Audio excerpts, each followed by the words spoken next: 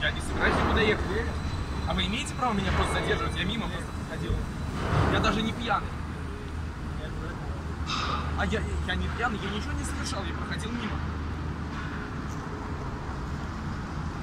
Сейчас. Вы можете, пожалуйста, еще раз объяснить? Я никого никуда не отпускаю. Понятно, достаточно. Э, Можете не держать хотя бы? Не могу, Нравится. не могу. Олег придет? сейчас я перезвоню. Я Олега А, Срочно его. На основании чего вы его с собой возьмете?